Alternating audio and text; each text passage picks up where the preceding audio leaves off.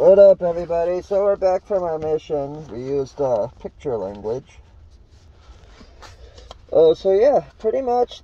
I'll be honest. Most of the immigrants are nice people. I mean, and a lot of them are actually really smart, and they know what happened in their country. They're trying to do it here with Joe Biden. A lot of them are actually really smart, and I mean, uh, most of the ones I talked to were very, very nice. And honestly, some of them were nice enough to where I wouldn't mind having them as my neighbors. But here's the thing they're going to be voting in this election. The, uh, they're already, yes, okay, so someone commented that, that that's why they're gonna, they're trying to appeal it. But here's the thing, even if they do appeal it, they're gonna do what they did last time and just do a bunch of bogus, uh, election things.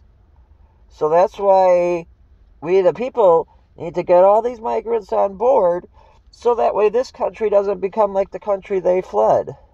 Watch the video that's premiering today. Like, subscribe, share, and hit thumbs up.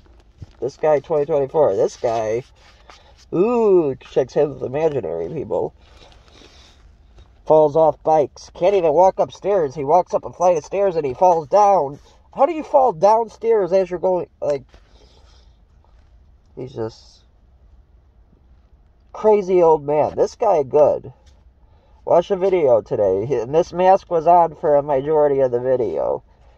It was at the migrant. It was where they drop off all the migrants at the CTA bus center. It's a good video. Watch the video. We lost the sound for like 30 minutes because it was snowing real hard. Go check it out.